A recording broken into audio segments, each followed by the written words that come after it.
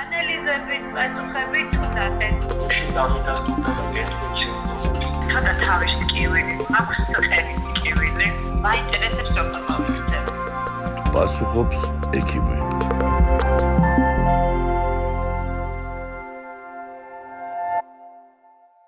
მოგესალმებით, მე მარიანა ვარ და დოქტორს ეთერში თქვენ უყურებთ ჩვენ გადაცემას პასუხობს ექიმი. ამ პროგრამაში პირდაპირ ეთერში ჩვენ შევეცდებით გავცეთ ყველა თქვენ შეკითხვას პასუხი კვალიფიციური ექიმების და ეპიდემიოლოგების დახმარებით. ამისათვის საჭიროა დაკავშირდეთ ტელეფონის ნომერზე 032 243 1035 კიდევ ერთხელ გამემეორებ 032 243 1035 ეს ნომერი იქნება ჩვენ სატელევიზიო ეკრანზე.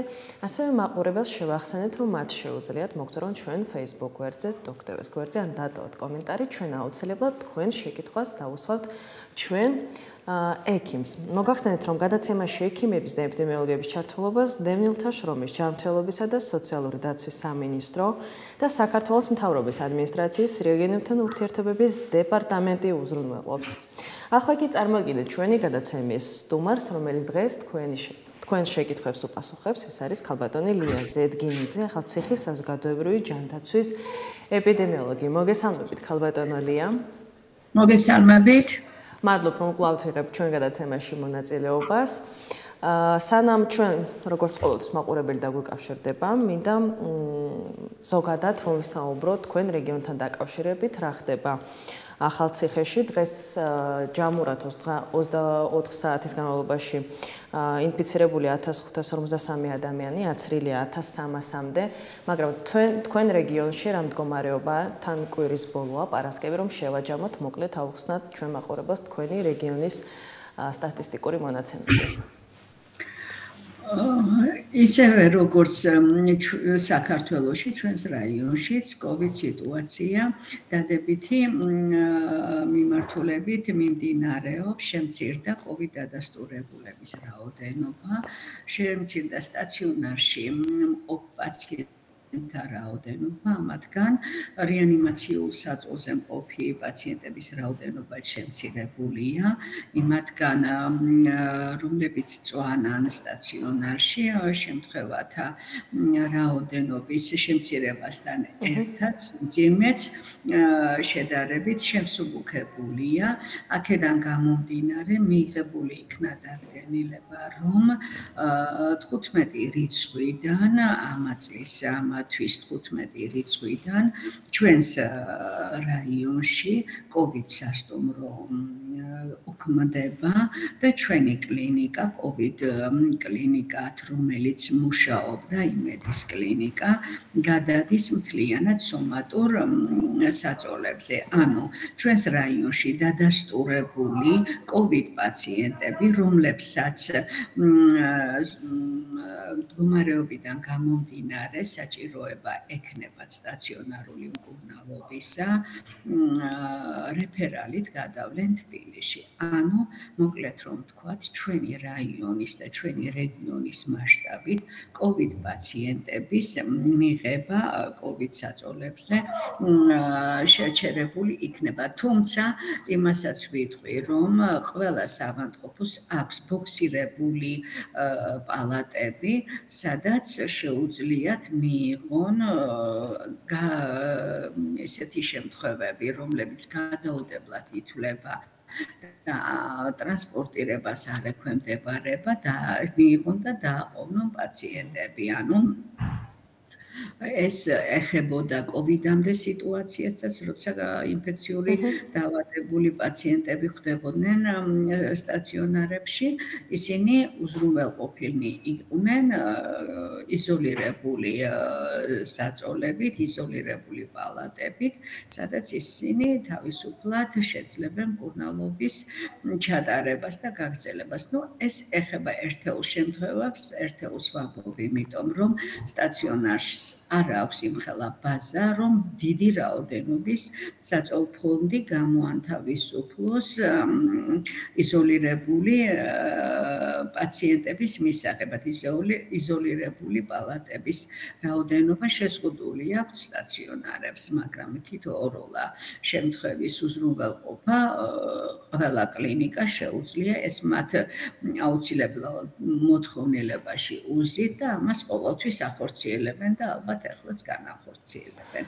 მასიურად COVID პაციენტების მიღება არ მოხდება ჩვენს კლინიკაში, კლინიკა იქცევა უკვე ჩვეულებრივ კლინიკად, ჩვეულებრივ სომატურ კლინიკად, სადაც იმოქმედებს ბავშვთა განყოფილებაც, თერაპიული, ქირურგიული ჩატარდება ჩვეულებრივად გეგმიური გადაუდებელი ოპერაციები. ანუ იარსებობს როგორც ჩვეულებრივი კლინიკა, რაღაცა პატარა სივრცე COVID პაციენტებისთვის დარჩება თავისი იზოლირებული პალატით. ანუ უბრუნდებით ასე რომ ვთქვა ჩვეულებრივ რეჟიმს, კლინიკები უბრუნდება, მაგრამ თქვენ რომ ხო, დანდიახ, კი ბატონო. თქვენ რომ თბილისი ახსენეთ გადაყვანაზე, ანუ პაციენტი თუ დამძიმდა და ესაჭიროება გადაყვანა თბილისში, ჩაოლებრივად ეს პაციენტი გადავა თბილისში და იმკურნალებს თბილისში. ფედერალი განხორციელდება, ანუ მხოლოდ დამძიმებულ შემთხვევაში. თუ ჩაითვალა, რომ მას ჭირდება სტაციონარული მკურნალობა, მაგრამ შევსებულია ყველა იზოლირებული საწოლი, ასეთ შემთხვევაში მოხდება მისი რეფერალი ხო. დარჩება კოვიდ სამანტყოფეები ცოტა ხანი კიდევ რამოდენიმე ალბათ ეს ყველა იქნება დედაქალაქში სავარაუდოდ და იქ მოხდება მათი რეფერა მადლობა ქალბატონალია ჩვენ მაყურებელს რომ აუხსენით ჩვენ ძირითადად თქვენი რეგიონის მაყურებლები ასე რომ ვთქვა თვალს გვადევნებენ და კარგია რომ ეს აუხსენით რომ იცოდნენ და არ დაპანიკდნენ თუ ვინმე დამძიმდა უცებ და მე რომ რაღაც რომ იცოდნენ წესები როგორ ახდება რომ ადგილებიც არის თქვა დამ სტაციონარში თუ დაჭერდებათ და თუნდაც თბილისშიც აუცილებლად გადაიყვანენ თუ ძალიან ძიმე კოვიდზე ვისაუბრებთ. ქალბატონოლია, ჩვენ წინა გადაცემაში ვისაუბრეთ წახალისების პროგრამასთან დაკავშირებით, რომელიც გრძელდება მარტის ჩათვლით და თქვენ რეგიონში რამდენად კარგი ციფრები მოაქვს ამ პროგრამას, თუ იცით, თუ გაქვთ მონაცემები?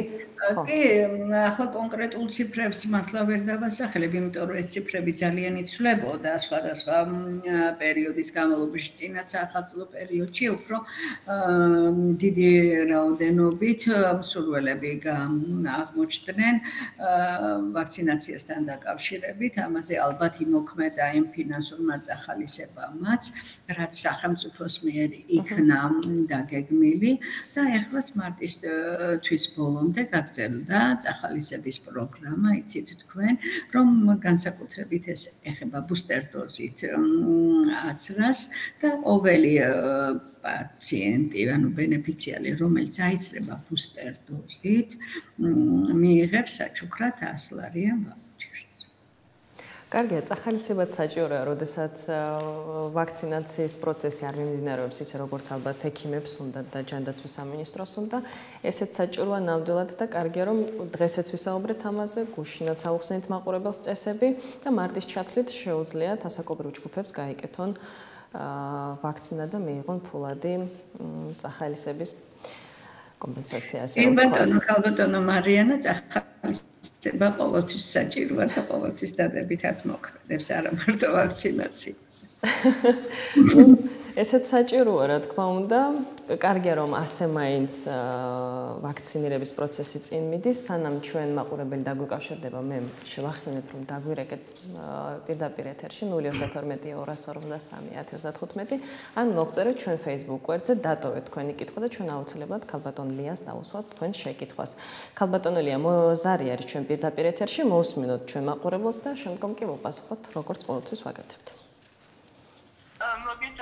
ესეთი კითხვა მაქვს შესაძლოა რომ კოვიდის შემდგომ ლიმფური კვანძები მქონდეს გათიდებული ან ანთება მქონდეს. ვის შეიძლება მიმართო და რატომ გამიგდით და კოვიდის დროს ლიმფური კვანძები რამდენად საშიშია ეს? მადლობ მაყურებელს. გესმოდათ ხო კითხვა ქალბატონალია? ესთვის კი კოვიდის შემდგომ პერიოდში ბევრი პრობლემა და ბევრი დაავადება იჩენს თავს. ამ დროს ორგანიზმის იმუნური სისტემა მაინც ქვეითდება და თავს იჩენს ბევრი კვალი დაავადების გამწვავება ან ახალი დაავადებების გამოვლინება. აქვთ ჩივილები, რა თქმა უნდა, პნევმონიისა, ლიმფური ჯირკვლების გადიდებისა ხშირ შემთხვევაში. ეს არ არის ერთი და ორი შემთხვევა, ხშირი შემთხვევა. ამიტომ პირველ რიგში, როცა ლიმფურ ჯირკვლების გადიდებას ეხება საქმე, მინდა ჩემს მსმენელს მიუმართო, რომ პირველ რიგში მან სისხლის საერთო ანალიზი ჩაიტაროს. ხომ არ არის სისხლში რაიმე ცვლილება? როგორია მონაცემები ლიმფოციტების, თრომბოციტების და ასე შემდეგ. ამის შემდეგ მიყვება უკვე მკურნალობის გზას, იმიტომ რომ ლიმფოჯირკვლებში ხდება ძირითადად პასუხი იმუნური პასუხი მაგის საშუალებით იმ გარკვეული ინფექციისა ვირუსულია თუ მიკრობულია და ამ დროს ხდება ლიმფური ჯირკვლების გადიდება. ეს განსაკუთრებით კისრის ირგვლივ ლიმფურ ჯირკვლებს ეხება. როდესაც ყელი არის გაღიზიანებული და ჩირქებული ან ყურის ინფექცია აქვს ან ცხირხახის ინფექცია აქვს, ამას ლიმფური ჯირკვლები პასუხობს და ეს ბუნებრივი მოვლენა მაგრამ როდესაც ჩაივლის კოვიდი, ჩაწყნარდება ხახა, ჩაწყნარდება ცხვირის, ყურის პათოლოგიები და მაინც რჩება გადიდებოდათ ლიმფური ჯირკვლები, ამას აუცილებლად გამოკვლევა ჭირდება სისხლის მხრივ ხომ არ არის რაიმე ცვლილებები. ამის მიხედვით დაიწყება მკურნალობა. ანუ პირველ რიგში უნდა გამოირიცხოს ის პათოლოგიები, რომლებმაც უშუალოდ შეიძლება მწვავე ვირუსული პროცესის დროს გამოიწვიონ ლიმფური ჯირკვლების გადიდება, ანუ ნოშურების ჰიპერპლაზია და ჩირქება, სასის რკალების შესიება, ხახის უკანა კედლის მარცვლოვანება და დაჩირქება ცხვირიდან ყვითელი ფერის გამონადენი ყურის დაზიანებები და ასე შემდეგ, ესენი იწვევენ ლიმფური ჯირკვლების გადიდებას და ეს ჩვეული ამბავია, მაგრამ თუ კლინიკა მთლიანად ჩათავებულია და არანაირი ცვლილება არ აქვს და არანაირი ჩივილები არ აქვს ადამიანს, ასეთ შემთხვევაში უკვე უნდა დავიწყოთ ყოლება სისხლის საერთო ანალიზი პირველ რიგში და შემდეგ შეძლებს დაგვარად ყველა. ანუ კისრის არეში გადიდება ლიმფური ჯირკვლების, ანუ ეს ალბათ შესამჩნევიც იქნება, რომ მაყურებელმა კი, რა თქმა უნდა, ლიმფური ჯირკვლის გადიდება შესამჩნევია ყველა ვარიანტში. ხელით მოისინჯება გადიდებული ლიმფური ჯირკვლები და უნდა შეფასდეს ლიმფური ჯირკვალი როგორია, კრივია კონსისტენციით, რბილია, არის ცალ-ცალკე თუ არის თითქოს ტომარაში ჩაყრილი პატარ-პატარა მარცვლებად, აკინძული, თუ არის შერწყმისკენ მიდრეკილი ცომისებური, უფრო მეტად სად არის ლოკალიზებული, უფრო წინ ყბის ქვეშ თუ უკან კეფის არეში, მას ყველაფერს უნდა შეფასება ექიმის მიერ, რა თქმა უნდა. გმადლობ ხალბატონო ელია რომ ასე ვრთლად უპასუხეთ ჩვენ მაყურებელს. აა ძალიან საინტერესო იყო ჩვენ ლიმფურ ჯირკვლებზე ჯერ არ გვისაუბრია და შესაძლოა რომ მომატებულიც კონდეს ბევრ პაციენტებს, რადგან ეს მაინც ყელს და კისერს ეხება.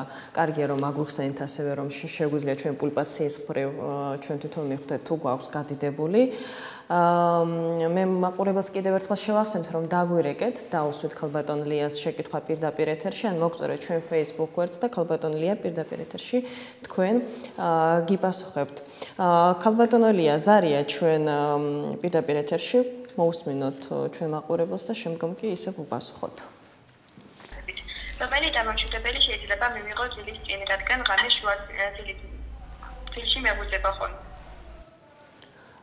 მადლობ მაყურებელს ქალბატონელია გაიგეთო კითხვა ველი დამამშვიდებელი ხო დიახ და ღამით გაგვიძება აქვს ხშირი ჩვენ ასე რომ ვთქვათ, ვინც დაგვირეკვა. ძილი რამოდენიმე ფაზისაგან შედგება, ხო? სხვადასხვა ფაზები აქვს ძილს. ძალიან რთული და საინტერესო ფენომენია თვითონ ძილი. რასაც ქვია. თუ პაციენტს აქვს ჩაძინების ან პირველ ნახევარში გამოყვიცების პრობლემა, ან უფრო ღრმაძილიდან გამოყვიცების პრობლემა განთიადისკენ. ამას შესაბამისად სხვადასხვა განმარტება უნდა და სხვადასხვანაირად აისახება ეს მკურნალობის ტაქტიკაზე. ზოგადად, როდესაც ძილი არის დარღვეული, კოვიდის დროს ძილის მოსაწესრიგებლად მე მელატონინის ჯგუფის პრეპარატები იხმარება. ნებისმიერი აფთიაქი თავაზობს თავისი გამოშვების თუ ხარისხის თუ ფასის შესაბამისად მომხმარებელს პრეპარატებს. ნუ სასურველია თავიდანვე, როდესაც მანამდე იყო ძილი მოწესრიგებული და კოვიდს დაემთხვა ეს პრობლემა არ დავიწყო ძლიერი დამაწყრარებელი ფსიქოტროპული წამლების მიღება. ზოგი ერთმანეთს ურჩევს, რომ ეს დავლიე და შედეგი მივიღე და ერთმანეთს ურჩევენ და პირდაპირ ძლიერ ფსიქოტროპიულ წამლებზე გადადიან. რა თქმა უნდა, ეს არაფრით არ არის გამართლებული. მე ურჩევ ყველას დაიწყოს მინიმალურით მცენარეულით, ელემენტარული მწვანე ვალერიანით დაიწყოს.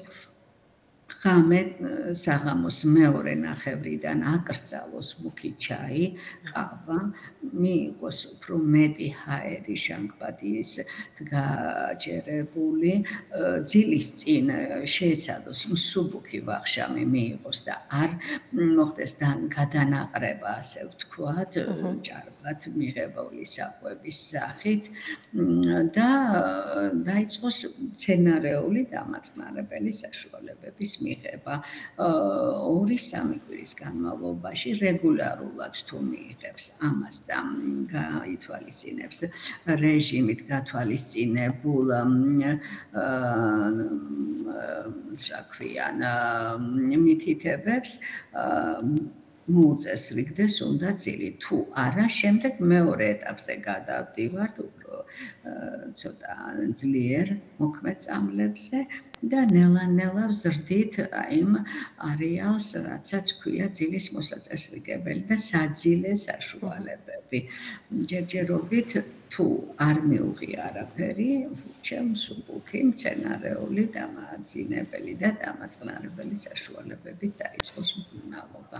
მადლობ ხალბატონოლი აქვე გითხავ თქვენ ახსენეთ რომ ისე ჩვენ ხშირად გვახასიათებს ქართველებს რომ ერთმანეთს ვეკითხებით რა წამალი უნდა მივიღოთ არა მარტო კოვიდთან დაკავშირებით ეს სხვა დაავადებებსაც ეხება თუნდაც კარდიოლოგიას როდესაც გული აწუხებს ბევრს აა ფსიქოტროპულები ახსენეთ თქვენ და საერთოდ თუნდაც აი ვიღაცას კითხეს, ურჩიას ფსიქოტროპული და ის არ არის ბალახეული და ასე შემდგომ, დაიწყო თქვათ მიღება პაციენტო, მაგრამ აა უცებ შეწყვეტა ფსიქოტროპულების, როგორც მე ვიცი, არ შეიძლება, ანუ თქვენც როგორც ექიმი, ალბათ ამას დამედასტურებთ და რა უკუჩვენება აქვს თუნდაც რომ ფსიქოტროპული დაიწყო პაციენტმა, მაგრამ უცებ შეწყვეტა, აი დალი ალბათ პოსტკოვიჩი ანუ 10 დღე აწუხებდა თუ 15 სვავდა ფსიქოტროპულს, მაგრამ მე უცებ შეწყვიტა. არც დოზების ნაკლებობა ამით არ დაიწყო შეწყვეტა, უცებ შეწყვეტა. რა შეიძლება რომ ამას მოკლეს? პრობლემა უფრო უძლიერდება თუ უძილობა ქონდა, უფრო მეტი უძილობა გამოიხატება და მეტი ახსნებულობა გამოიხატება, როცა ის ორგანიზმი ეს როგორ არის, იცი რომ გარბის ადამიანი აკრეფილი აქვს სიჩქარე და ვიღაცა რუსულ გამონათქვამს ვიტყვი ალბათონო მარიანა პატნუშკას რომ დაუდებს და თვერქს დაინდრებს აი ესეთი სიტუაცია ხო? ის ორგანიზმი უკვე განწყობილია წამლების მიღებაზე და უცბად როცა წყვიტა ორგანიზმი დიდ სტრესს ხებულობს მადლობ ქალბატონოლია ზუსტად ეგრეა და მაყურებელს ურჩევ რომ თქვენც ურჩევთ რომ ფსიქოტროპულებზე ეგრევე არ გადავიდნენ და ბალახეულობით დაიწყონ. თუ მithumetes თუ ახალგაზრდა არის უცებ ფსიქოტროპულ წამლების შეჩუა ცოტა რა სასურველი მეჩვენება და კარგია რომ თქვენც აგვიხსენით ეს ეს მნიშვნელოვანია რომ ამაზე ვისაუბროთ რადგან საქართველოს სამწუხაროდ აი ასე გადადებით ხდება ხოლმე პრეპარატებზე გადასვლა ანუ ერთი ეკითხება მეორეს და ასე შემდგომ და ეს გადაცემა გვაძლევს იმ საშუალებას, რომ თუ შეკითხვა აქვს მაყურებელს, რომ დაგვირეკონ პირდაპირ ეთერში და კითხონ ექიმს და არა მეზობელს, ნათესავს და ასე შემდგომ. ჩვენი გადაცემა კი თავდება მალე ხალბატონოლია, მაგრამ ერთ ზარის უფლება გვაქვს მოვასწრებთ, მოусმინოთ ჩვენ მაყურებელს და ვუპასუხოთ კვლავ. გამარჯობა. გამარჯობა.